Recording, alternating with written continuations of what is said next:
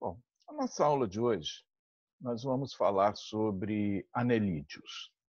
Os anelídeos, eles são animais, como o próprio nome está dizendo, que têm o corpo segmentado. Essa segmentação pode ser denominada de metameria, então eles têm o corpo metamerizado, ou também corpo com anéis, corpo cheio de anéis ao longo do corpo, por isso anel e Deus, corpo formado por anéis. Bom, aqui nós vamos encontrar as minhocas, as sanguessugas, as poliquetas, que são os principais representantes dos anelídeos. Na, no aspecto evolutivo, eles estão próximos dos moluscos e dos artrópodes. Então, eles estão bem já acima na cadeia evolutiva. Para a gente acompanhar a história desses animais, vamos ver uma multimídia.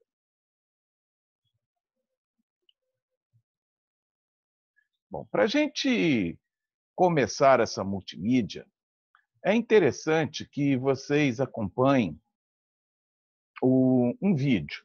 Vamos ver um vídeo que fala de uma forma geral dos anelídeos.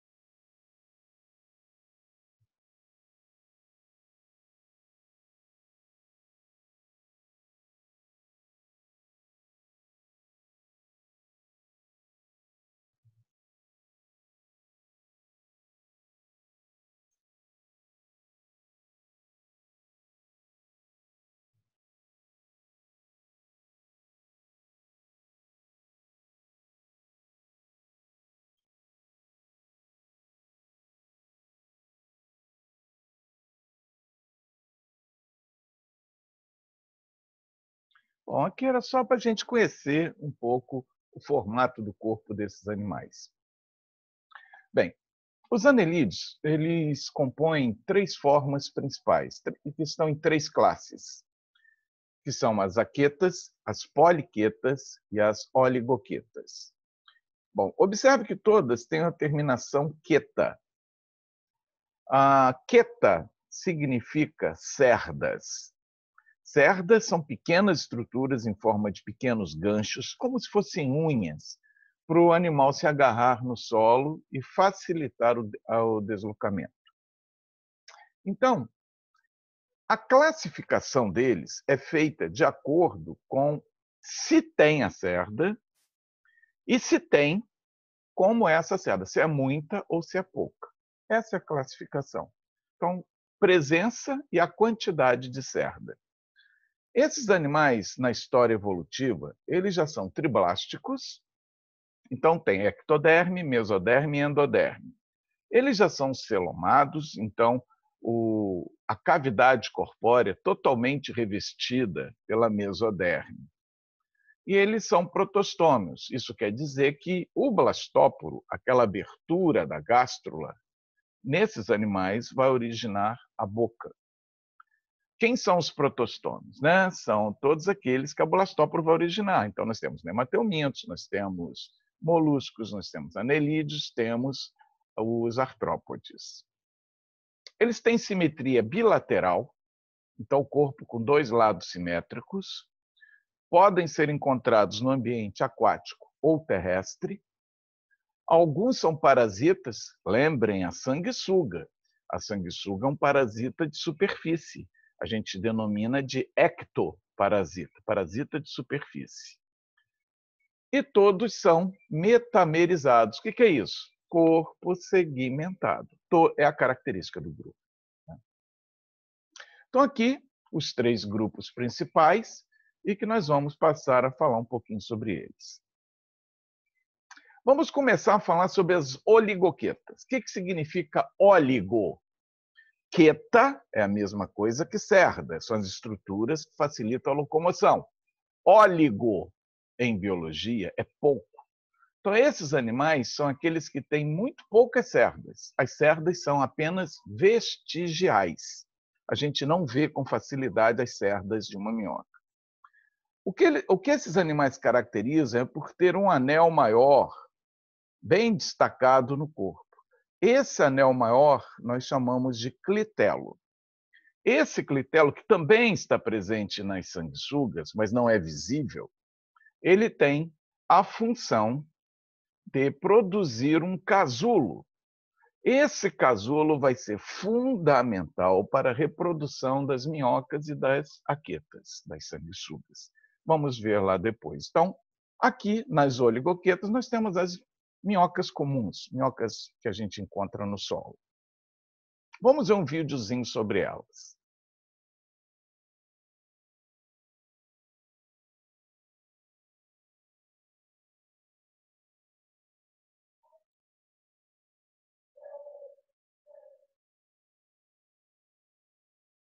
Observe que esses animais têm o corpo bem úmido.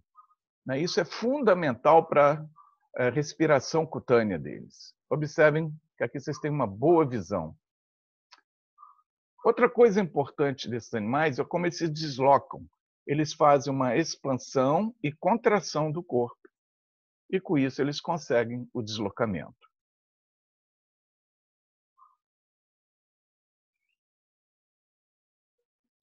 Como se fosse um peristaltismo, né? um movimento.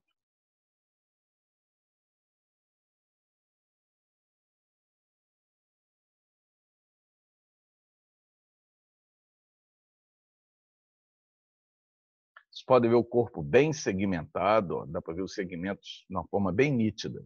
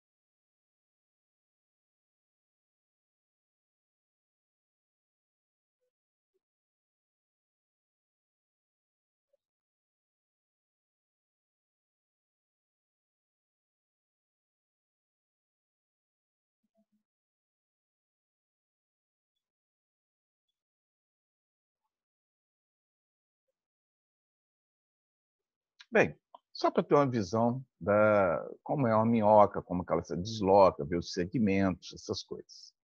O outro grupo são as poliquetas. Quetas, como já falamos, são cerdas. Poli significa muitas. Esses animais vão ter muitas cerdas. Essas cerdas, que são esses filamentinhos aqui na ponta dessas estruturas, elas é, são é, fundamentais para agarrar no substrato e ajudar o deslocamento desse animal. Essas projeções que eles têm no anel são chamadas de parapódios. Isso não são patas. Isso são apenas expansões do anel para facilitar o deslocamento. Então, essas cerdas ficam na extremidade dos parapódios. Outra característica marcante desses animais, que a gente pode ver aqui no animal, é, eles possuem uma cabeça diferenciada do corpo, que a minhoca não tem. A minhoca a gente não consegue ver a cabeça dela. Já aqui nós conseguimos. E também podemos encontrar as poliquetas com um aspecto desse formato, parece uma árvore. É, ele tem esse formato expansivo do corpo para poder para facilitar a captura do plâncton, já que são animais bem sedentários. Eles são todos aquáticos, e são dioicos, tem macho, tem fêmea. Vamos ver um pouquinho esses animais. Essa estrutura que vocês estão vendo aqui, tipo um, um manguezinho tal, é exatamente o que vocês têm ali debaixo da ponte de Camburi. É esse mesmo ambiente que sofre com a maré enchendo, esvaziando, e é onde esses animais vivem também de uma forma é, com bastante abundância. Eles vivem dentro desses tubos que vocês estão vendo aí.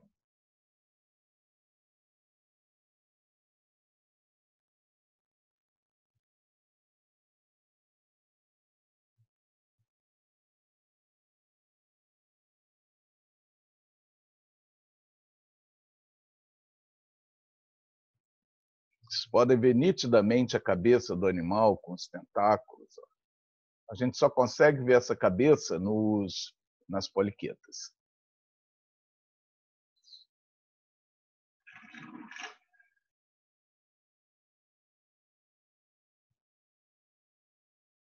Aqui são os parapódios. Na pontinha dos parapódios tem as cerdas.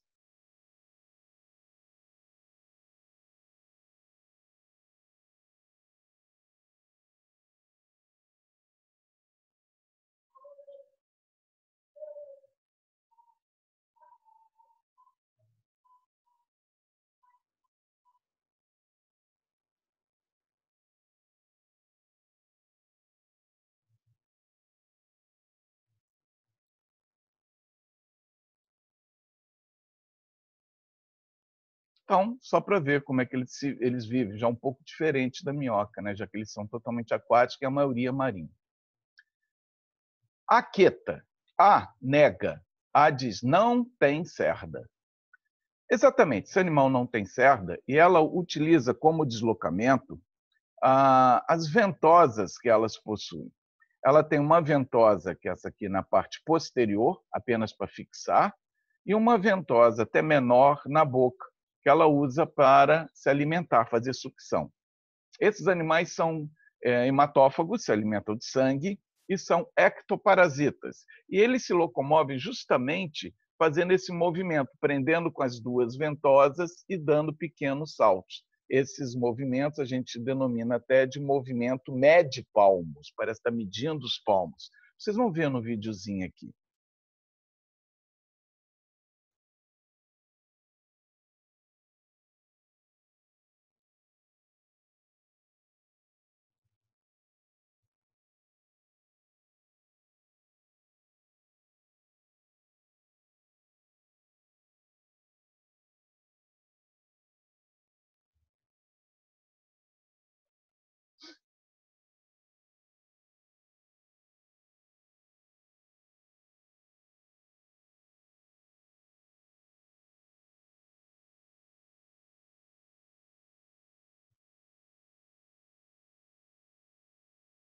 Olha lá, prendeu com as duas ventosas, prende com uma ventosa na frente, aí solta de trás, para poder se deslocar. Olha lá, está procurando local para se prender.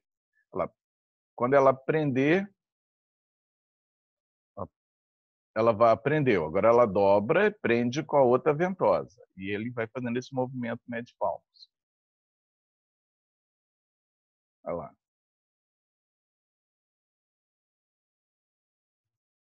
Até achar um local adequado onde ela possa é, raspar a superfície do corpo e obter o sangue. Vocês vão ver que na boca dela tem três dentes.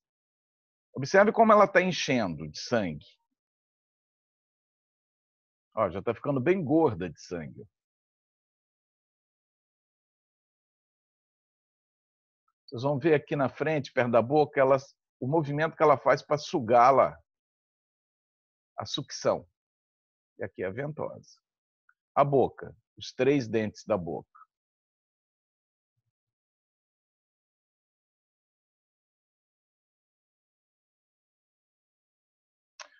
Quando ela fica cheia de sangue, ela se solta. Aí ela agora vai digerir esse sangue durante muito tempo, podendo dias. E ela se protege nesse momento, pra, só para fazer a digestão agora porque ela fica agora com um movimento um pouco complicado, ela está muito pesada. Né?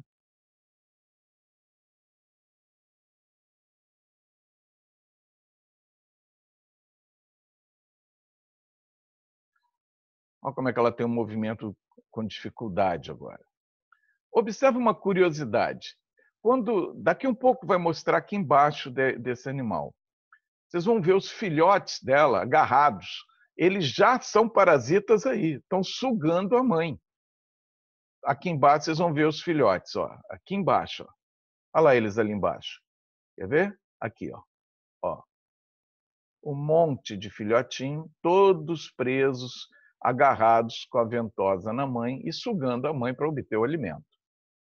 A mãe agora vai se proteger e digerir o sangue obtido no hospedeiro.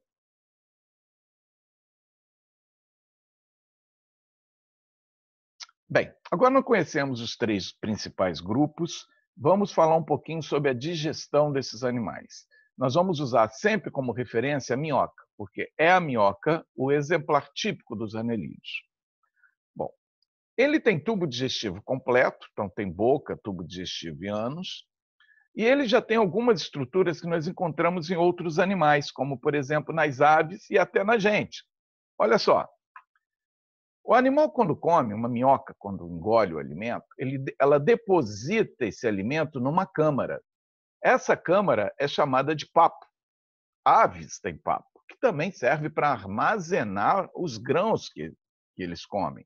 Para quê? Para hidratar e amolecer esses grãos.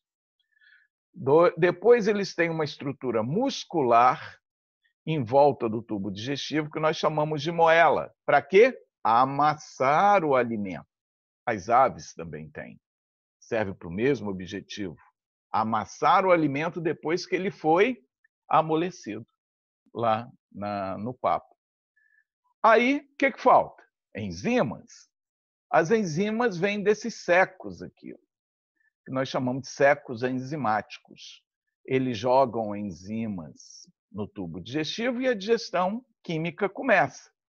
Aí começa o processo de transformação de macromoléculas em micromoléculas e agora tem que ter absorção desses nutrientes. Nós, para o nosso intestino absorver melhor os nossos nutrientes, nós temos as vilosidades. As velocidades fazem com que é, o nosso intestino tenha mais contato com o alimento e, consequentemente, maior superfície de contato, melhor absorção.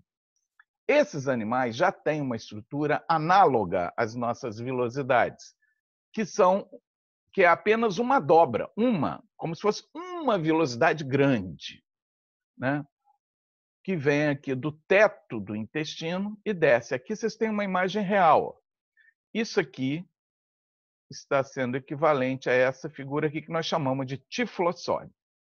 Então, o alimento ele passa nesse vazio aqui, no branco, e ele vai ser absorvido pela parede do intestino e vai ser absorvido pelo tiflossole, praticamente dobra a capacidade de absorção. Então, esses animais têm essa estrutura que é muito importante para eles absorver os nutrientes. E isso é uma boa questão de prova, né? principalmente é, brincando com analogia com o nosso sistema, né? que é a capacidade de aumentar a absorção intestinal. Quanto à excreção, é, em moluscos, nós falamos nos nefrídeos. Os nefrídeos são, é o primeiro órgão que apareceu para é, fazer o processo de excreção, quer dizer, seria o equivalente ao nosso rim.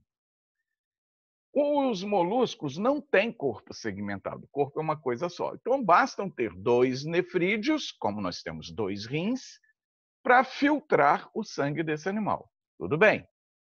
Só que os anelídeos são todos segmentados. Então, eles precisam filtrar cada segmento do corpo. Para que isso aconteça de uma forma eficiente, eles desenvolveram no processo evolutivo dois pequenos nefrídeos por segmento do corpo. A gente fala um par de nefrídeo por segmento do corpo. Como é que funciona isso? Observem aqui, esse azul aqui é o nefrídeo. Na ponta do nefrídeo tem esse funil, que nós chamamos de nefróstoma. Então, está aqui o funil, a minha mão, com os dedos, e aqui está o, o tubo do nefrídeo. Aí ele bate esses cílios na ponta do nefrídeo, que é o nefróstoma, aquele funil ali, e suga os líquidos do corpo.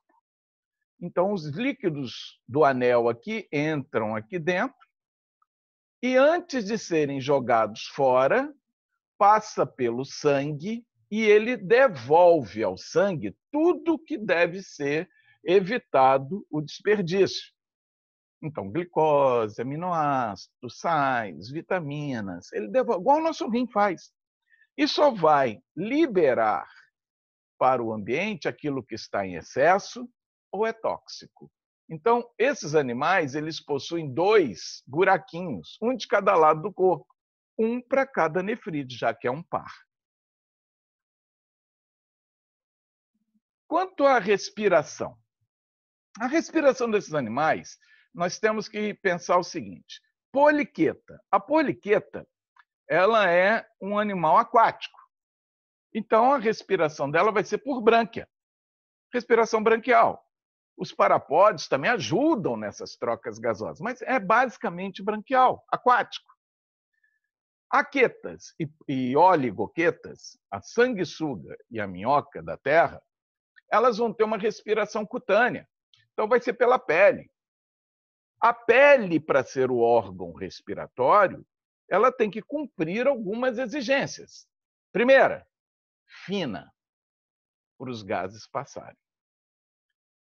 Segunda, tem que passar muito sangue por ela para poder fazer as trocas gasosas. Três, úmida, para poder fazer com que os gases se dissolvam nessa umidade, facilitando a difusão. Porque toda respiração é por difusão. Aqui os gases que vêm no sangue, aqui venoso, está cheio de gás carbônico. Aí o gás carbônico se dissolve para o ambiente, ele se difunde para o ambiente. E o oxigênio, que está aqui em grande concentração na atmosfera, ele se difunde para o sangue. Isso é a hematose feita na pele. Para a gente ter a importância da umidade, ah, o gás atmosférico está gasoso, ele está no, no aspecto gasoso, ele tem que entrar dissolvido no sangue. Então, para facilitar, precisa existir uma umidade sobre a pele para que esse gás se dissolva primeiro na umidade e agora dissolvido, ele vai do mais concentrado para o menos concentrado para dentro do sangue. O gás carbônico faz a mesma coisa no sentido oposto. Circulação. A circulação desses animais, eles têm um sistema circulatório fechado, com sangue vermelho, porque tem hemoglobina. Então, o sangue dele é vermelho igual a nosso. Por isso, quando a gente pega uma minhoca, o aspecto, a cor da minhoca tende à coloração de sangue. Porque, como ela faz respiração cutânea, está passando muito sangue pela pele dela e a gente está vendo esse sangue por transparência. Então, observem, ele vem um vaso sanguíneo dorsal e um vaso sanguíneo ventral. O sangue vem por cima e volta por baixo. Quem movimenta esse sangue? Não é coração. Aqui. Na realidade, ele vai possuir cinco pares, aqui só estão vendo cinco, porque os outros cinco estão do outro lado do corpo, cinco pares de vasos laterais, que algumas vezes a gente chama de corações laterais, mas não é um órgão. Mas tudo bem, tem livro que diz até que é coração, diz que a minhoca tem dez corações. Mas, na realidade, se vocês forem escrever uma discursiva, cinco pares de vasos laterais. Aí o sangue vem por cima, passa por esses vasos laterais, eles contraem e empurram o sangue por baixo para voltar para o corpo. Então, esses cinco pares de vasos laterais apenas impulsionam o sangue, facilitando a movimentação. Sistema nervoso. Observem que, como eles têm o corpo segmentado, a administração de cada segmento é feito por um centro nervoso aqui que nós chamamos de nervo segmentar. Aqui um gânglio, uma concentração de células nervosas. Então, como o corpo tem, é, tem uma administração por pequenos cérebros, por anel, né, por anéis, nós vamos dizer que ele é um sistema nervoso ganglionar, tendo um, dois gânglios anteriores centrais que se fundem em um cordão nervoso ventral, tendo um gânglio, que são dois fundidos, um gânglio por segmento do corpo. É isso aí o sistema nervoso deles. Reprodução. Ah, os poliquetos, aqueles que vivem naqueles tubinhos que vocês viram, é, ficam dentro d'água na maré, eles ficam dentro daquele tubo e não saem do tubo. E eles são dioicos, tem macho e tem fêmea. Então, como é que eles fazem para se reproduzir? Eles simplesmente jogam gametas na água, aproveitam a água para unir os gametas. Então, eles ficam dentro dos seus tubos, jogam gametas na água, a fecundação é externa, desenvolve uma larva, então desenvolvimento indireto, e aí forma um novo indivíduo que vai cavar o seu próprio é, túnel. Então, eles têm uma fecundação cruzada, porque mistura material genético de dois indivíduos, e externa. E o desenvolvimento é indireto. Já as minhocas comuns e as sanguessugas, elas são monóicas, são hermafroditas. Então, elas têm os dois sexos no mesmo indivíduo. Então, aqui está um desenho, um pequeno desenho, uma parte da minhoca, ó, testículo e ovário.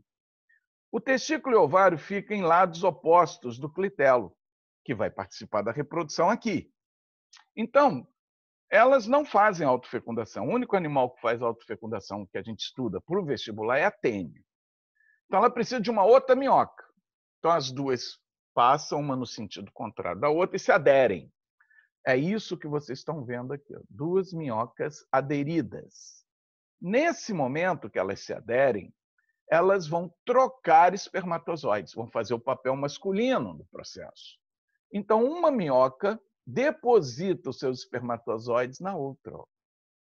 Depois que elas uma deposita o espermatozoide na outra, elas se separam, não tem mais sentido ficar junto. Mas elas deixam o espermatozoide numa dobra de pele externa, não coloca dentro do animal. O animal tem uma dobra de pele que fica desse jeito que é chamado de receptáculo seminal, que a minhoca vai botar o sêmen ali, vai ficar do lado de fora do corpo, protegido dessa dobra de pele, receptáculo seminal. Agora elas se separaram. O que vai acontecer com uma minhoca acontece com a outra mesma coisa. Ela vai fazer o papel feminino. Como é que é isso? O clitelo ele começa a produzir o casulo, que é um tipo um silicone grosso que fica em cima do clitelo todo. É como se fosse um anel no dedo que ele está construindo. Esse casulo é móvel, o clitelo não. O clitelo é fixo no corpo. Então, esses animais, quando o casulo está pronto, ele começa a se deslocar e vai passar em cima do anel onde está o ovário. Quando ele passa em cima do anel onde tem o ovário, os óvulos saem e agarram dentro dele.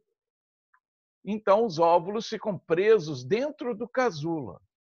Aí ele continua caminhando, passa em cima do local onde está o espermatozoide da outra. Aí ocorre a fecundação cruzada. Mistura o óvulo de uma com o espermatozoide da outra. E é externo, porque está ocorrendo fora do corpo, no casulo. E aí o casulo sai do corpo e fica protegendo os ovos, até o momento que as minhoquinhas nascem, sem passar por larva.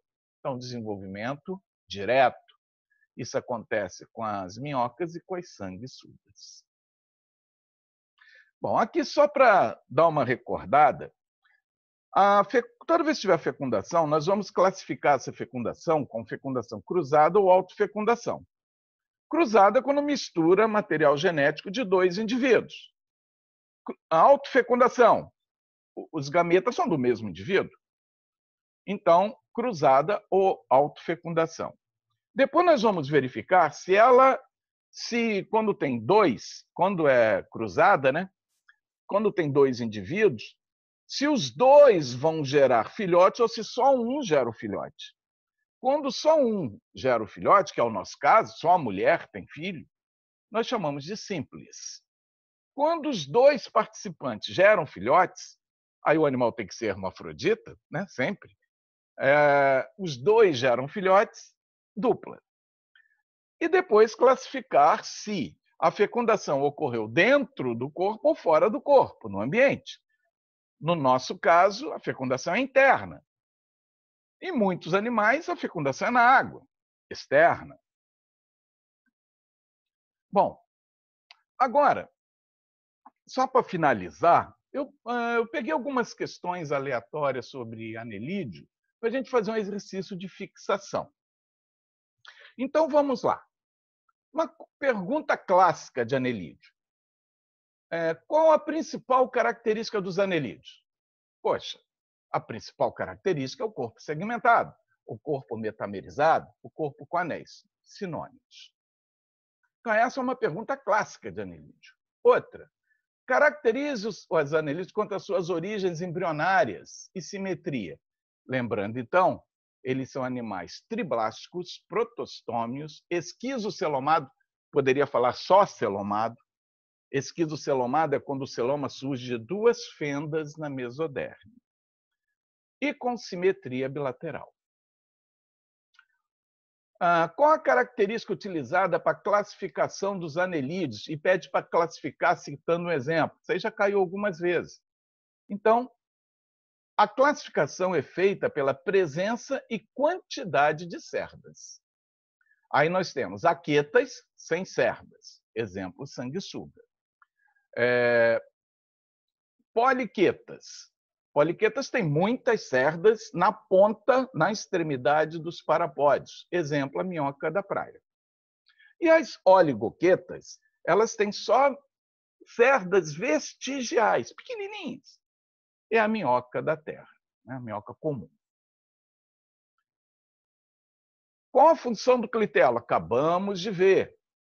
O clitelo produz o casulo que vai atuar na reprodução da minhoca e da sanguessuga. E finalizando, os anelídeos possuem no tubo digestivo uma estrutura para aumentar a eficiência na obtenção dos nutrientes. Qual o nome dessa estrutura? Ela é análoga a qual estrutura do nosso tubo digestivo? Então, é o tiflossole. E ela é análogo, o tiflossole é análogo as nossas vilosidades. Agora, cuidado. Não é microvilosidade. Tem gente que fala, ah, é microvilosidade. Não, vamos diferenciar. No tubo digestivo, a dobra do tubo digestivo é a vilosidade. Na dobra do tubo digestivo, tem um monte de células compondo essa dobra. Cada célula da vilosidade que fica em contato com o alimento, a membrana desta célula tem dobras também, mas é uma adaptação de membrana. Essas são as microvilosidades. Então, microvilosidades são adaptações da membrana da célula presente ali no intestino. Agora, a dobra intestinal são vilosidades. Ok, moçada. Então, por hoje era isso. Eh, eu espero que vocês tenham gostado dessa revisão de Anelídio e que vocês é, possam tirar todas as dúvidas que vocês tinham desse grupo. Eu tentei atingir todos os assuntos mais importantes para qualquer tipo de prova, inclusive Enem, provas particulares e tal. E espero que vocês tenham gostado. Qualquer coisa, entre em contato comigo aí pelo e-mail do DAR. Um abraço, moçada. Até a próxima.